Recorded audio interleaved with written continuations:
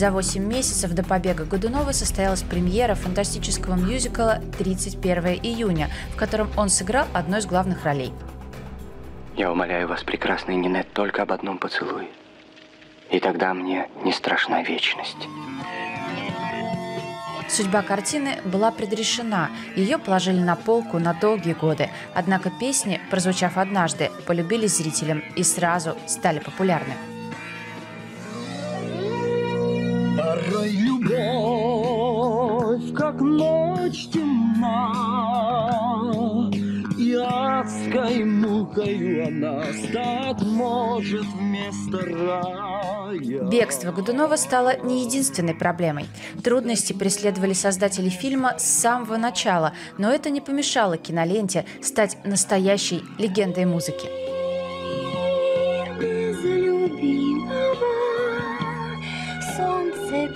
Без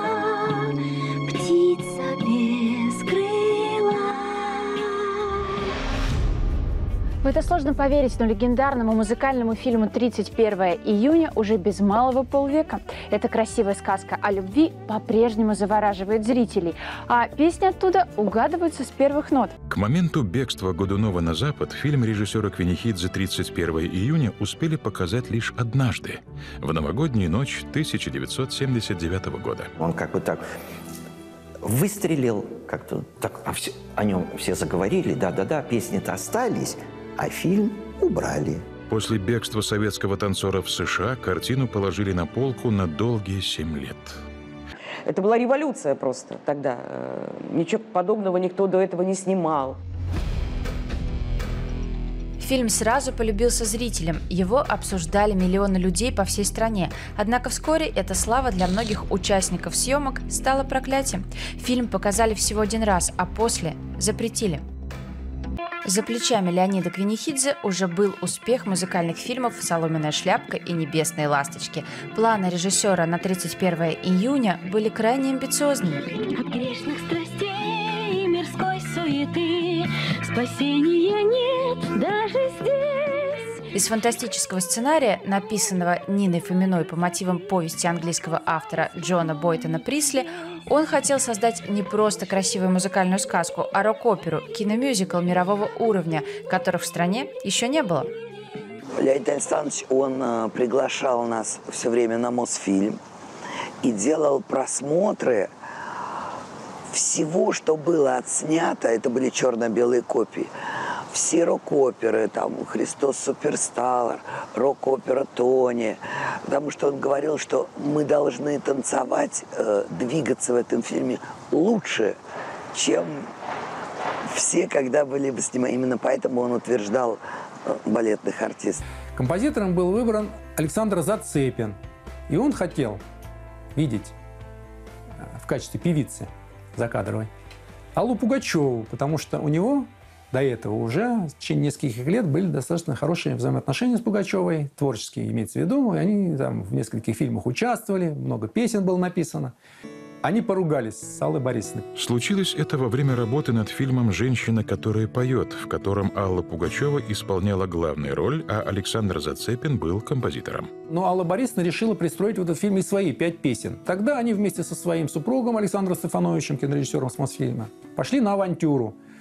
Они выдумали такого вот э, молодого человека Бориса Горбоноса, который якобы прикован к инвалидному креслу, сочиняет прекрасную музыку, но вот поскольку он инвалид, вот он там прислал нам партитуру свою и так далее. И они вот хотят его как бы вот прославить, его имя.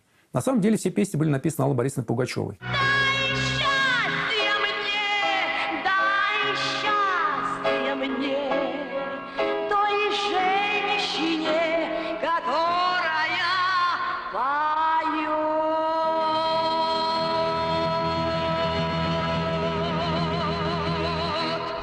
Руководство студии в придуманную историю поверило. Песни Аллы Борисовны вошли в картину, а песни Зацепина были вырезаны.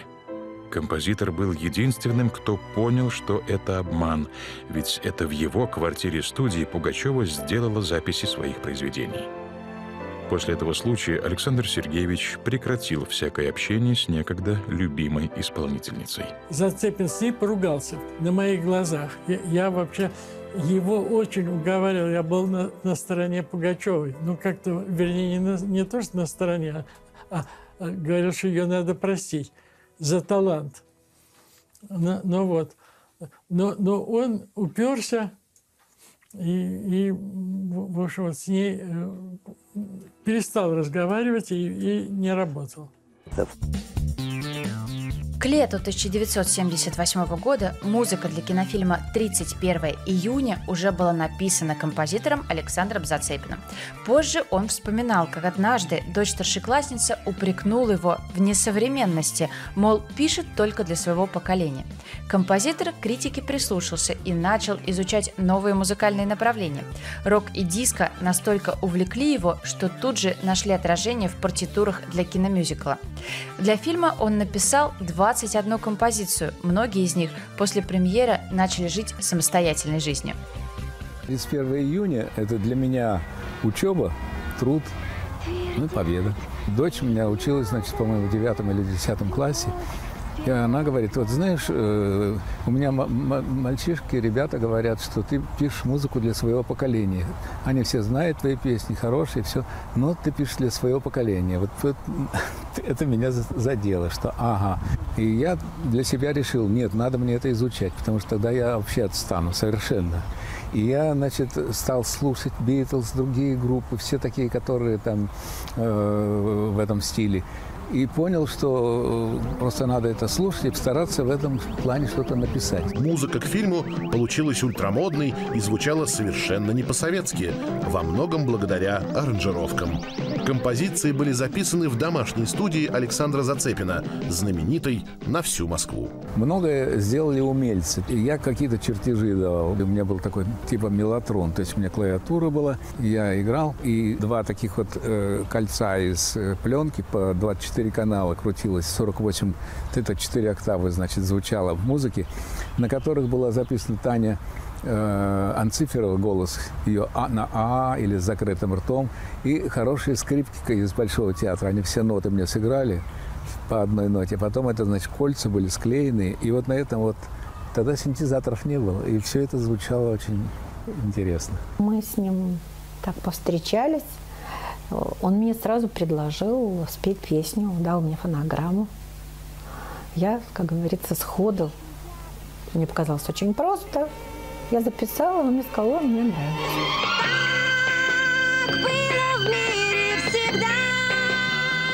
Ну, я попробовала и уехала на гастроли, в общем, сильно не заморачивалась. А потом была удивлена через какое-то время, когда мне сказали, что мои эти записи вошли в фильм. Я сказала, а переписать? А это же было так с налету, сходу. Ну, уже все, поезд ушел, уже произошли съемки. К счастью, в советское время пресса еще не носила желтый цвет. А вот если бы фильм снимали теперь, то из событий, развернувшихся вокруг песни «Ищу тебя», раздули бы грандиозный скандал. Дело в том, что в фильме звучит голос Татьяны Анциферовой, а на пластинке главный хит картины исполняет Ксения Георгиади. Скажи, мы сможем узнать, откуда вот в этом случае мне повезло, так сказать, я вытащила э, лотерейный билет счастливый. Раньше были худсоветы. Сидели обычно все известные композиторы, музыканты, там, ну, певцы даже сидели. Они слушали и решили, что она спета, как мне тогда говорил Александр Сергеевич, я потому что была удивлена. А, он сказал, что она была спета как-то очень а, беззащитно, беспомощно, таким очень слабеньким голосом. А худсовету показалось, что эти стихи, эти слова и эту музыку надо было более э, с экспрессией какой-то, с динамикой более, более уверенной э, спеть. В этих песнях есть смысл, есть романтизм, есть любовь и страсти. Все в меру, понимаете? А это только присуще э, гениальным э, композиторам. Считаю, что Музыка – это, конечно, 50% этого фильма. Потрясающая. Для исполнения песен привлекли самых модных в то время музыкантов страны. Эстрадно-джазовый оркестр «Мелодия» и рок-группу «Аракс», которая уже имела дело с рок-операми на театральной сцене Ленкома. Одну из ярких песен исполнил музыкант группы «Аракс» Сергей Беликов. Дракон по имени Кошмар Сто рыцарей изгубил А для меня он что, комар Щелчком его убил Это группа первых, ну, я не знаю, вот первой пятерки, а, так, скромно говоря. А де-факто 78 79 80 это так, «Машина времени», «Аракс». «Аракс», «Машина времени». А, Это был для нас очередной творческий вызов, потому что, несмотря на то, что мы, скажем так, достаточно популярная группа уже, э, мы еще молоды, преисполнены каких-то невзятых вершин, и мы понимали, что вот работа над фильмом для нас это еще один вызов. Тексты для песен, ставших впоследствии хитами, написали Леонид Дербенев, Юрий Энтин и Римма Казакова. Но им, как Александру Зацепину и Леониду Квинихидзе, пришлось внести десятки поправок в свои работы. Ведь бдительным чиновникам везде виделся звериный оскал капитализма. А это характерное явление той эпохи, заставляли э, что-то переделывать из-за капиталистичности музыки, капиталистичности образов. Зацепин имел все возможности записывать музыку к фильму в профессиональной студии Мосфильма, но он предпочел это сделать у себя дома, поскольку за несколько лет до этого оборудовал квартиру по последнему слову звукозаписывающей техники. Только там он мог добиться необходимого звучания. Леня Квинихидзе мне говорит, ты знаешь, говорит, звукорежиссер, я когда сказал, Зацепина дома будем писать.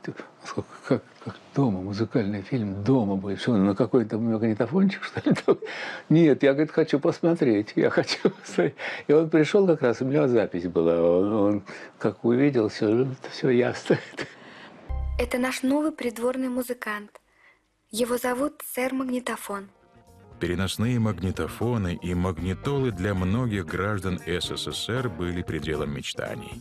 В 70-е в свободной продаже подобных аппаратов не было. Их или покупали по записи, или привозили из загранки. Позже они стали появляться и в комиссионных магазинах.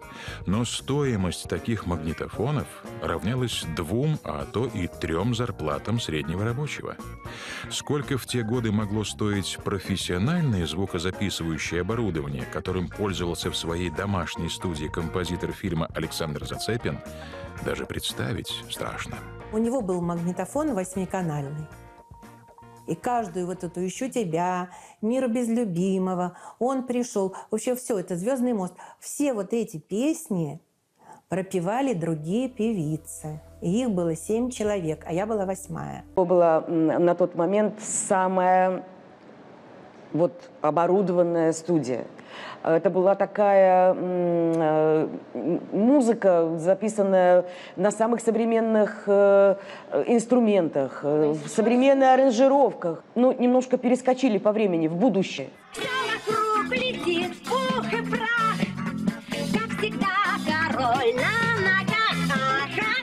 Однако именно из-за слишком прогрессивной музыки съемки фильма могли закончиться, еще не начавшись. Чиновникам от кино не нравилось чуждое звучание. Этот танец не вяжется с королевской честью. Мы запрещаем его на веки веков. С выбором исполнительницы главных песен фильма тоже не все было гладко. Режиссер и композитор были убеждены, образ главной героини, принцессы Мелисенты, должен начинаться с ее голоса. Прослушав восемь претендентов на эту роль, включая Ирину Понаровскую и Ларису Долину, Зацепин никак не мог определиться. Я не вижу ее. Как это не видеть?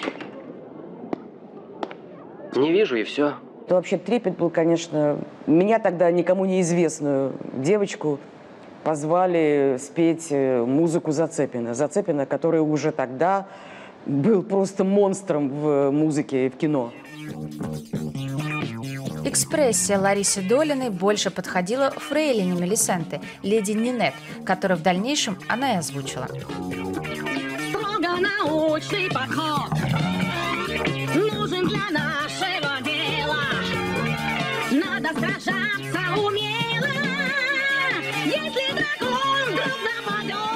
Лариса Дольна, она великолепно пела «Леди Нинет», рождественская пела э, Люба Полищук. Вот, Як Йола, это э, вот Александр Годунов, э, Лемисон. Э, и Тынис Мяги, у нас был этот э, черный рыцарь.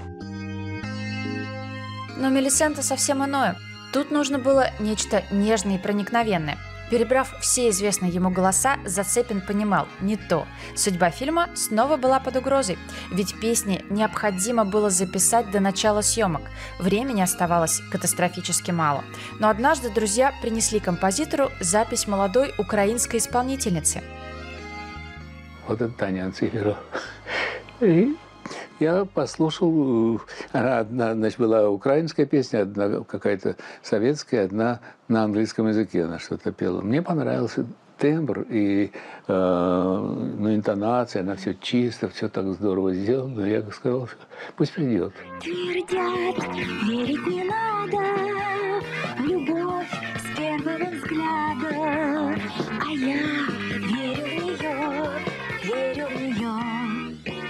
Это было стопроцентное попадание. Песни в исполнении Татьяны Анциферовой записывались с первого дубля.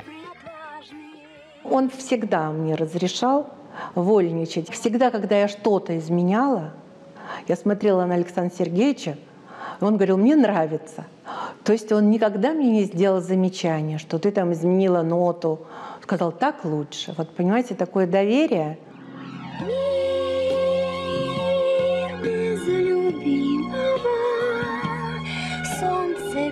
У сказочной принцессы Мелисенты появился голос, но до сих пор не было лица.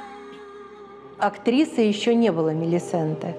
Поэтому я сама еще себе придумала образ Одри Хепберн и вот пыталась ее как бы озвучивать. Ну, по, по типу «Моя прекрасная леди», вот, вот что-то вот в таком роде. Э, потому что я спросила у Квинихидзе, а кто будет играть? Он сказал, пока мы не выбрали, ну, ну вот типа представь кого-то. Здесь надо типичное лицо средневековой принцессы, да?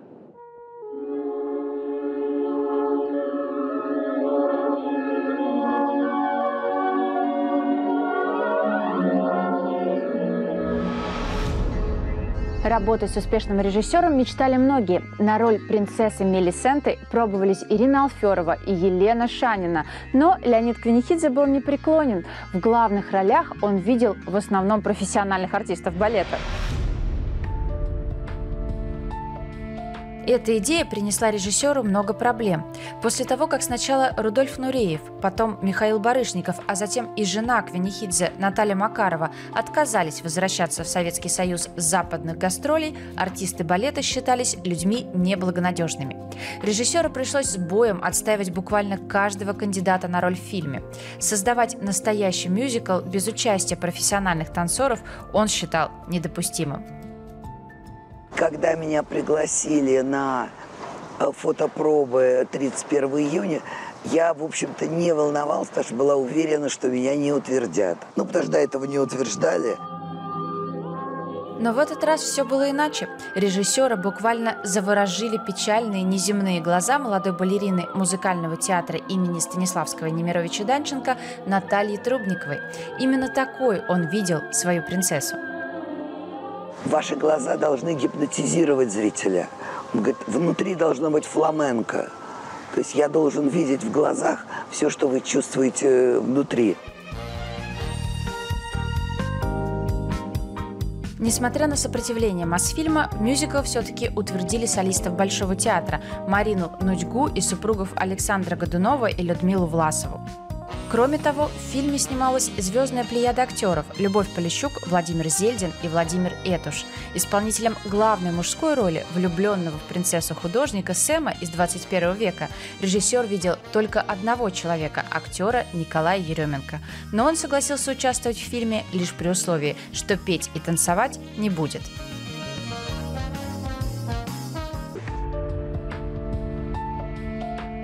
Казалось, самое сложное позади. Квинихидзе отстоял музыку и актеров и теперь мог смело погрузиться в творческий процесс. Но перед режиссером встала новая сверхзадача – успеть снять двухсерийный фильм всего за полтора месяца. Именно столько длился отпуск действующих актеров балета.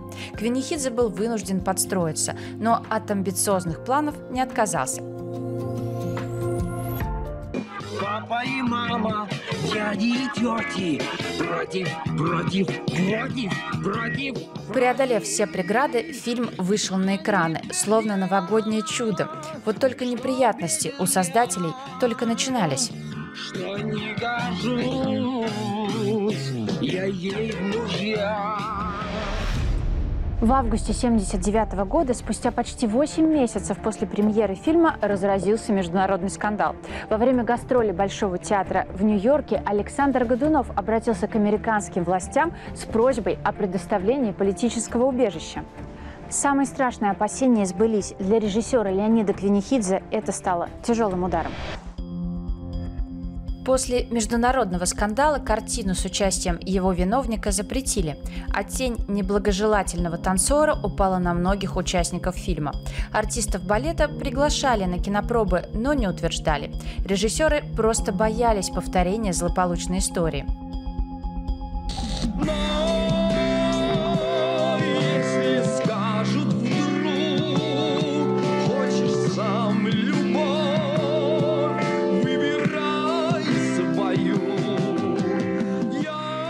Но несмотря на все обстоятельства, полюбившаяся зрителям музыка из фильма жила отдельной успешной жизнью.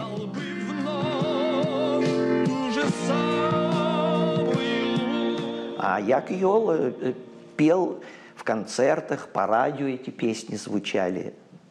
Эта музыка Зацепина поет Як Йола. Никакого упоминания о Годунове, никакого упоминания о фильме «31 июня». Все. В октябре 1979 года песня «Ищу тебя» заняла второе место по версии хит-парада московского комсомольца. А в 1980 году фирма «Мелодия» даже выпустила пластинку песни из кинофильма «31 июня». Всегда рядом не могут люди. Однако главную композицию картины пела уже не Татьяна Анциферова, а Ксения Георгиади. Голос первой исполнительницы не устроил худсовет студии. Казалось бы, худшего, чем запрет фильма, уже быть не может. Но картину словно преследовал злой рок. Когда в 1982 году Александр Зацепин получил выгодное предложение и уехал жить во Францию, на его творчество обрушилась беспощадная критика. В песнях Зацепина стали искать тайный смысл. Досталось и композициям из фантастического мюзикла. Небесные огни, небесные, необозримою дорогой звезд. В опалу попала песня «Звездный мост». В ней усмотрели отсылку к «Звездным войнам» стратегической оборонной инициативе США. Ну, это просто смешно. Это, это называется из пальца высосанная история. Ну, Это... Люди же не дураки, которые слушают песни. Но у кого, у какого нормального человека может возникнуть подобная ассоциация? Только у, у- просто у, я не знаю, у меня слов нет.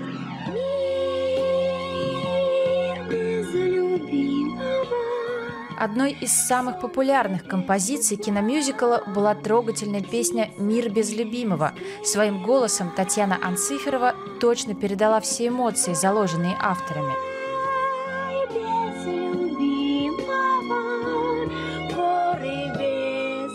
Музыкальный руководитель Додик Запольский в этом фильме, он, значит, сказал, что мне бы хотелось, чтобы э, эту песню ты спела, ну, вот как будто ты лежишь э, в поле, э, руки положила под голову и смотришь, как плывут облака. Я легла и положила на самом деле руки под голову. Все мне установили этот, значит, микрофон, закрыли дверь. Вот таким образом я записала эту песню.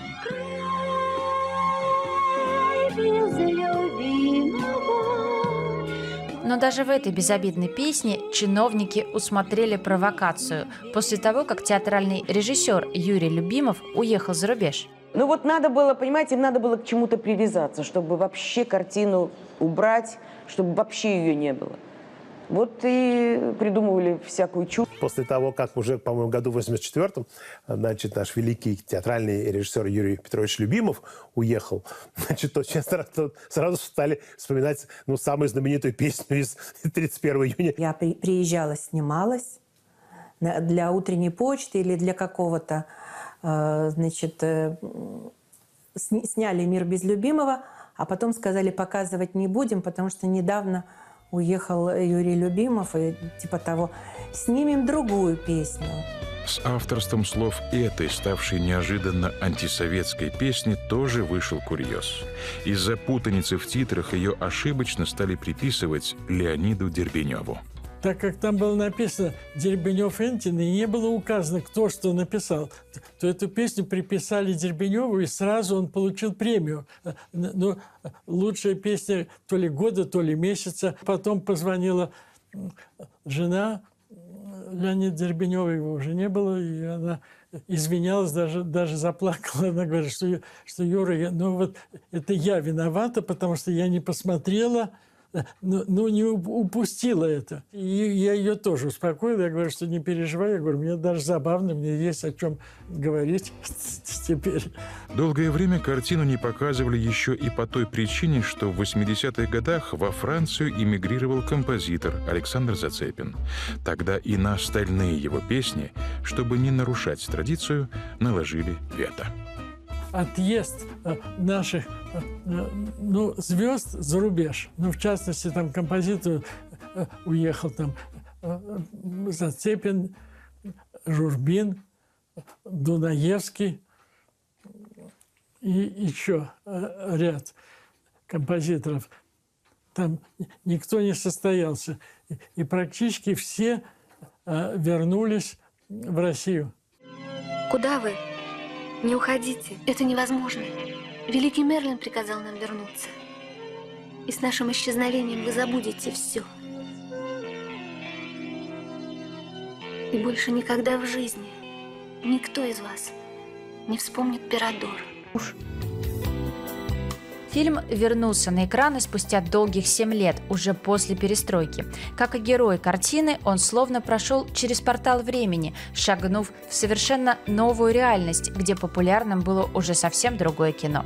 Показа картины вся съемочная группа ждала с замиранием сердца, а вдруг не примут, вдруг она безнадежно устарела. Но все опасения оказались напрасны.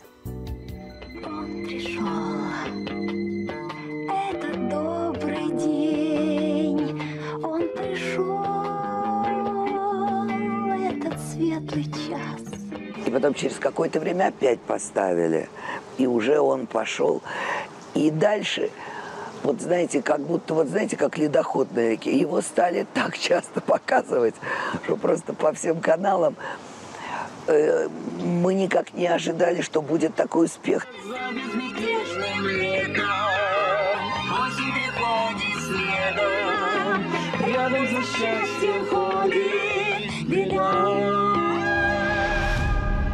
Фильм «31 июня» пережил все невзгоды и стал настоящей классикой. Искренние песни, безупречная хореография, блестящая игра актеров – все это позволило авторам создать сказку о настоящей любви вне времени и пространства. Фильм «31 июня» все-таки дожил до лучших времен.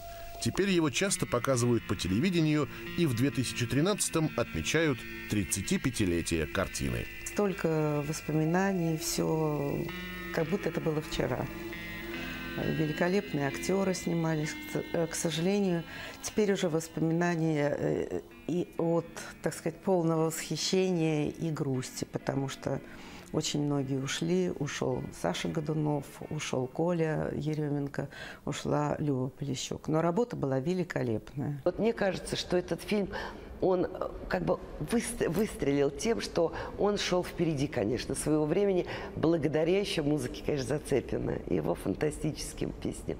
Я очень рад, что 31 июня так вспомнили, и вот каким-то образом хотя бы его заметили э, как юбилейный фильм. А вообще это связано с, с извечной человеческой памятью. Всегда кажется, что то, что было раньше, было лучше. Поэтому Ну, поэтому так и получается, что мы вспоминаем сейчас старое. В последнее время действительно стало популярным чествовать любимые советские фильмы. Они, конечно, не такие зрелищные, как современные, и кажутся иногда слишком наивными. И все-таки они с нами. Добрые, душевные, настоящие. Любимые на все времена.